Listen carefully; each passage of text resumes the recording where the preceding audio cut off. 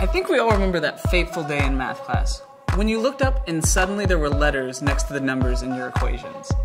I can still hear my teacher's voice as he told us all that these are called variables. I don't know if you remember the purpose of these guys from math class, but at the time my key takeaway was the idea you could change the value in an equation and get something completely different.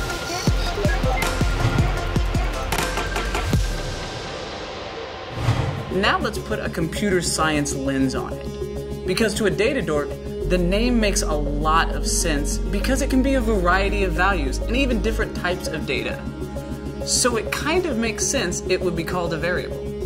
Let's take a look at one of those school equations we love so much. So we have a table with the names of some of the main parts we will need for our computer, the quantity we will need, and the estimated price. If you have ever worked with Excel before, you're probably highly familiar with variables, even though you might not know. Let's take a look at the quantity of cooling fans we are going to need for our gaming computer. We estimate these will cost 50 bucks each, so how would we calculate the estimated cost for all our cooling fans? We could do something like this. Now if you are new to Excel, we start formulas with an equal sign to tell it we will need it to evaluate something. What happens though if we find out the number of cooling fans we will need depends on the motherboard and graphics card we get.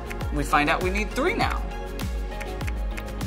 Our cooling fan total didn't update, so we really need to incorporate this cell into our calculation. How do we do that? We are now referencing the cell named C6 so that if we use it anywhere in this spreadsheet, it will point to the value in the cell. C6, and in essence every cell in a spreadsheet is a variable. Each cell can be a variety of different values and types of values, from my name to a number to a formula, or even a collection of numbers. We're going to think of variables like the cells in an Excel spreadsheet However, instead of referencing a location in a spreadsheet, variables point to a location on your computer that saves this value so you can refer to it later.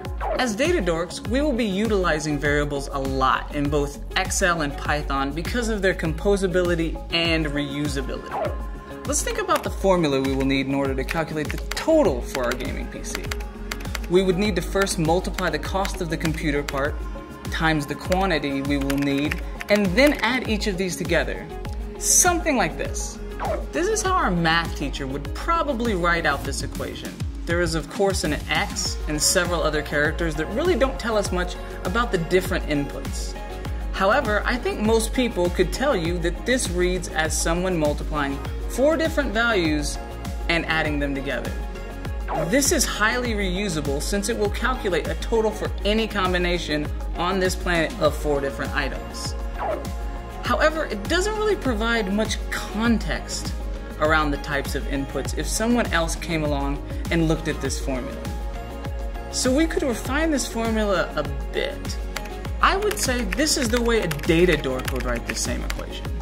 In all reality, we just added more characters, so it is for sure a longer form to write this, but more descriptive relative to the inputs if someone else came along and wanted to utilize this formula to estimate the cost to build their gaming computer. So where this formula falls short in generalizing to other areas outside of, say, a gaming computer, it makes up for in composability by adding context to the variables. Regardless of the formula, though, ultimately, it results down to the same thing, which is estimated dollars our PC will cost. You might not know this, but you're actually able to name cells and even ranges of cells instead of relying on the traditional column followed by row number syntax that is natural to Excel. As we discussed, naming variables descriptively makes it easier for someone else to come along and better understand what you were trying to do. In Excel, you can name a cell or cell range in one of two ways. Either you can go to the Define Name button on the Excel ribbon under the Formulas tab, or you can do what I do and just type over the cell name in the front of the formulas bar. So we can now reference the cell either still with C6 or with our new fans quantity name. Both work the same way under the hood. Now let's jump over to Python and see how you define a variable there. Since Python doesn't have a graphical interface like Excel, the naming of your variables is much more critical. Let's write our first Python variable. As you can see in this example, on the left side we define the name of the variable, in this case graphics card quantity. Then we set that equal to a desired value. Now if we call the graphics card quantity like this, we get 1, which is what we initially set it to. That is how easy it is to create a variable and give it an initial value in Python. In this episode of Datadorks, we learned all about variables and how we can use them to add context to our inputs. At the same time, reduce the number of changes needed if we want to update a value throughout one of our programs. In our next episode of Datadorks, we will be diving into what computers and applications were born to do math.